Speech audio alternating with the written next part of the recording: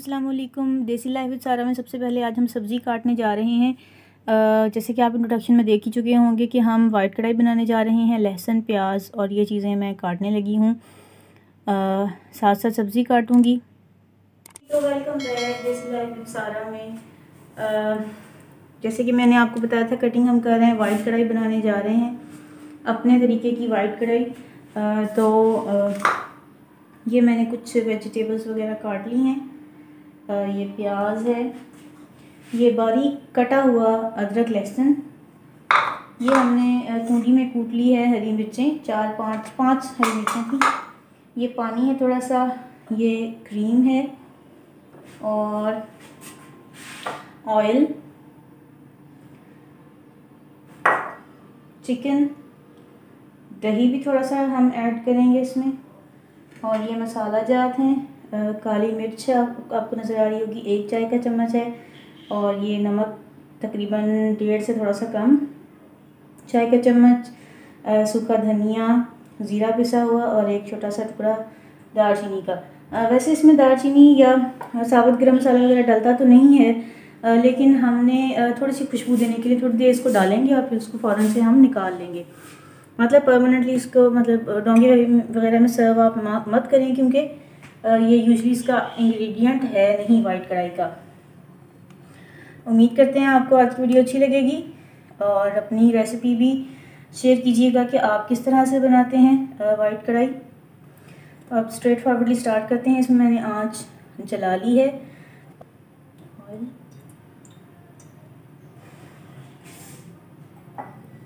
Oil डाल लिया है मैंने इसमें।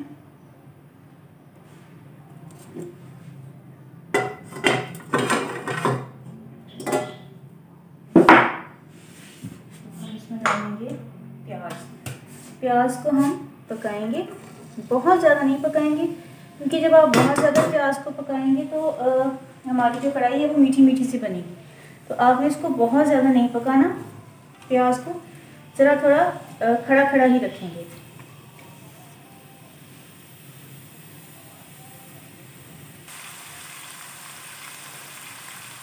ये पानी हमने रखा है थोड़ा थोड़ा जो छींटा थोड़ी थोड़ी देर के बाद इसको हम देंगे भूनने के लिए उसके लिए रखा है। हो सकता है थोड़ा सा हमें ऐड करना पड़ भी जाए। देख सकते हैं आप प्याज जो हैं, अच्छी तरह से हो रहे हैं। अभी हम इनको मज़ीद फ्राई करेंगे।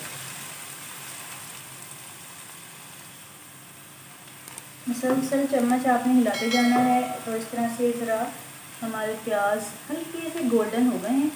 और जैसे मैंने आपको दो टीस्पून मैंने इसमें अदरक और लहसुन दोनों को क्रश करके ऐड कर लिया है। इसको हम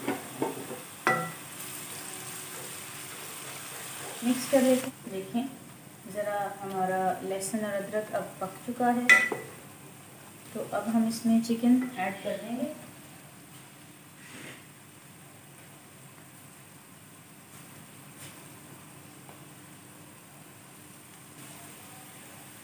ये चिकन हमने वॉश कर लिया था अच्छी तरह से।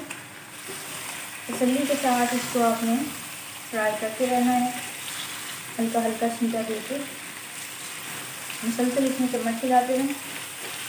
फिर ये बैलेंस किस्म की भुनी जाएगी। बैलेंस यानी हर तरफ़ से इसको हीट लगती रहेगी। अब इसके अंदर हम ऐड करते हैं थोड़ा सा योगर्ट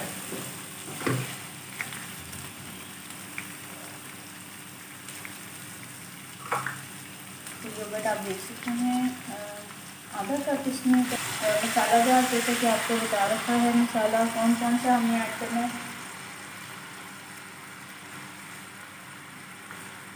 सारे मसाला जात हैं, ये एक ही साथ इसमें ऐड कर देते हैं। जैसे मैं पहले भी आपको बता चुकी हूँ, दालचीनी इसका इंग्रेडिएंट होता नहीं है आमतौर पे, लेकिन हम क्योंकि पाकिस्तानी देसी हैं तो हमने देसी तरीके का कोई ना कोई तो अपनाना सबूत देना होगा ये इसमें है इसमें आपको बताया था ग्रीन चिली कुटी हुई है, मैं आप देख सकते हैं।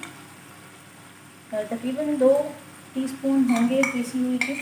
पाँच थी पाँच को मैंने पीस लिया था।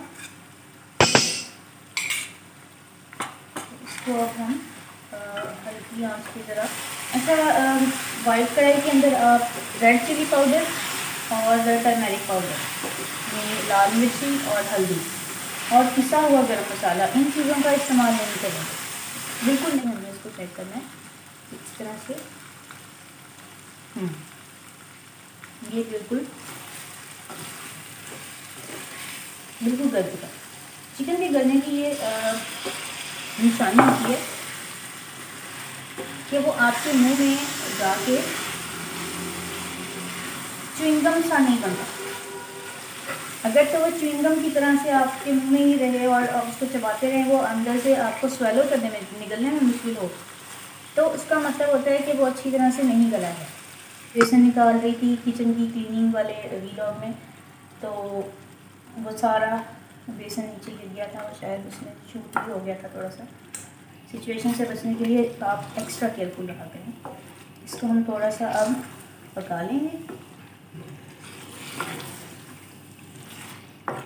तब तक हम कैमरा ऑफ़ करते हैं? आपका टाइम बचाते हैं। जी तो आप वैसे तो जैसे भी हुई, आप लोगों को कौन सा पता चलेगा कि किस तरह की बनी है, अच्छी है या बुरी है? आपने कौन सा टेस्ट करने बस आप तो देखेंगे। ये तो पता तब चलेगा जब घर वाले टेस्ट करेंगे और यू नो बहुत क्रिटिकल हैं मेरे घर वाले और बहुत ज़्यादा ही इंसल्ट करते हैं अगर खाना अच्छा ना बने। जी, खाना टेस्ट करने का टाइम आ गया है। ये कैमरे में आप खाना देख सकते हैं। खाना खाते हुए अल्लाह पाक से दुआ किया करें कि अल्लाह ताला अपनी सब मखलूक को अपने भरे ख़जानों में से वाफ़र, कुशादा और बरकत वाला और हलाल रिज़्क अता करे। कोई भी भूखा ना रहे, कोई भी मजबूर ना हो और कोई किसी इंसान का मोहताज ना हो। हमें सबको अल्लाह ताला अपना मोहताज रखे। आमीन सुमा आमीन। आप सब लोगों के लिए भी बहुत सी दुआएँ। मुझे भी अपनी दुआओं में याद रखिएगा।